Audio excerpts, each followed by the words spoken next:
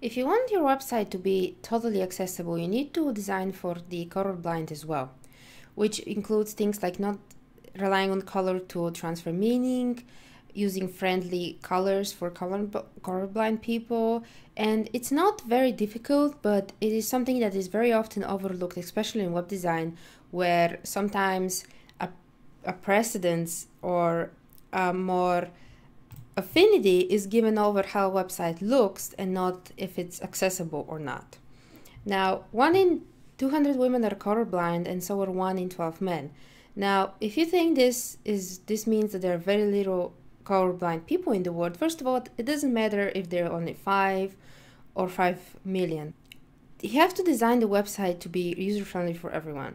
And uh, color blindness is something that affects people and if your website is not accessible for them, it will make them very difficult to use it.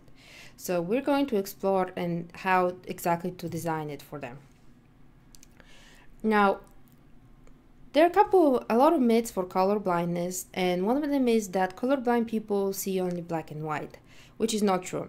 There are a lot of different types of color blindness. There's red and green, there's blue and yellow, and in some very, very rare cases, people are so colorblind they cannot distinguish colors, so they pretty much see grayscale. Okay, so you might be wondering, okay, but then why are designers using grayscale to, to design accessible mockups for websites? Because if your website looks good in grayscale, chances are it's going to look good for colorblind people as well. This is why I very much recommend designing in grayscale. And we're going to look at that later as well. So they not only see black and white, they in fact colorblind people, the name colorblindness is misleading because colorblind people can see colors, okay? It's just it depends on the on the blindness they have for colors. For example, some people can some people who are red and green colorblind, they can distinguish between the colors if they are uh, if they are very high contrast. But for example, if you show them a dark red and a light red, they won't be able to distinguish between them. This is why contrast is so important. Let's look at the red and green color blindness. We have uh, apples at the top seen by a person with no color blindness and the apples at the bottom seen by those who experience red and green blindness. And uh, as you can see that they they will have very difficult time distinguishing between the ripe apples and the green apples. And this is just one example. And also they'll have difficulties with clothing as well.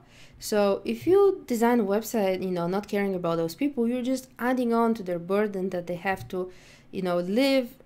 And mean, you know, life is difficult enough without, you know, making our users and visitors' lives more difficult.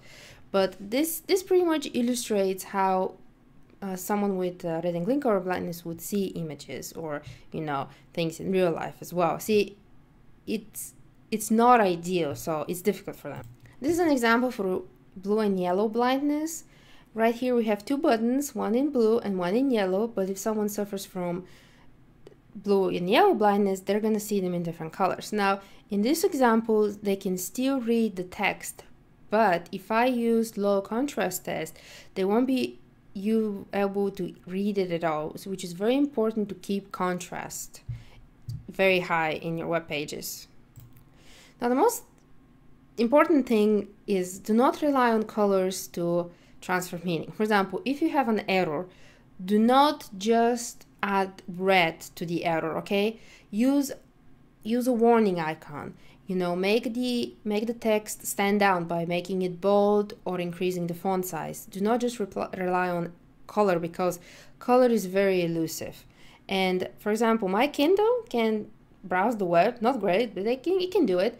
However my kindle doesn't support colors. So it's black and white so i see all the web pages in grayscale. So it you know making a website accessible that's what i love about accessibility is you're helping people tremendously who has some kind of disability or color blindness.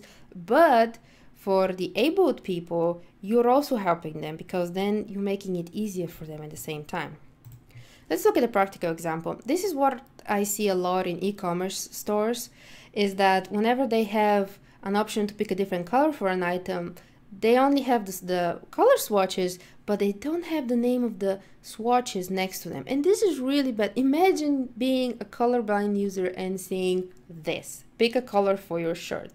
So you might be thinking, oh, but Stefany, you know, maybe they don't care about the color. Or you might be thinking, mm, color is not that important, you know. They can just contact customer service or they just buy the shirt. Well, what if they're buying the shirt as a present to someone? You know, you cannot just ignore the, you, you cannot just ignore those people just because you know it is cheaper in quotation marks to create a website like this. But this is something I, I often see. Do not just do not just use color swatches. Make sure you have text next to them. And uh, the next example is we have text next to each swatch and see how much easier that is. Also, it's much easier for them, you know, if if they don't know the language, they can copy and paste it and translate it. Now let's see it again. Here we have the inaccessible option where we just have the color swatches. And here we have the color swatches with text on them. Now make sure you do that so that people will be able to distinguish the colors for e-commerce sites. Here we have another example of a login form. Now this login form shows the errors whenever they are whenever the user makes an error it shows them in red. And the contact form is using solely color to transfer meaning.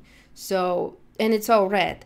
And if we if we enter it in grayscale see it is very difficult to distinguish where the errors are because in grayscale the errors look exactly like the text right?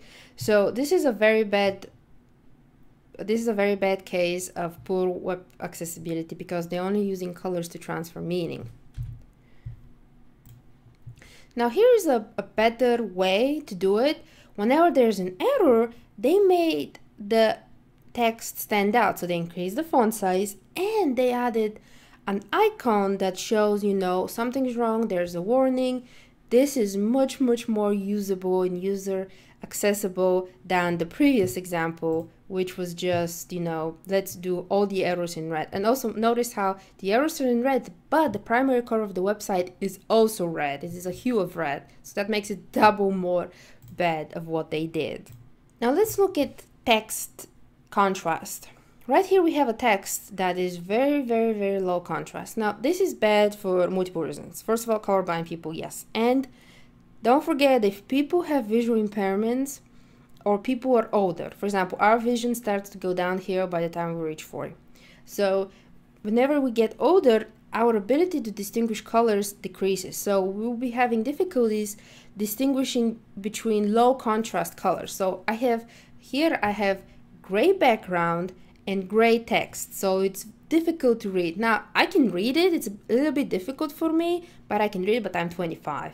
So remember, if you're designing an interface or coding a website, if you're thinking, okay, this is a little bit difficult to read, but I can read it just fine, then it's wrong. You should run it through a color contrast checker and check it that it is the correct contrast, which it probably won't be. Here I have an example of running the foreground and background colors through the WebAIM contrast checker and right here we see that they fail. So they fail W, C, A, G, A, A, and A, and AAA.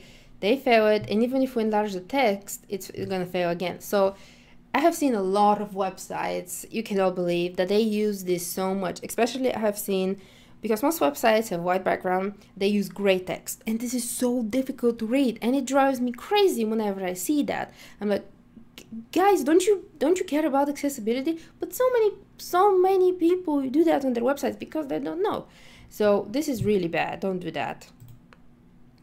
Okay now i have a slightly different hue of gray and i have a uh, more slightly different hue of gray on my text so in this case we failed the contrast check but some sometimes you can enlarge the text and you can achieve sufficient contrast okay if for example, you're using uh, colors very closely together as a foreground and a background color, but you know, your boss tells you, no, we totally have to use these colors, there's no way around it.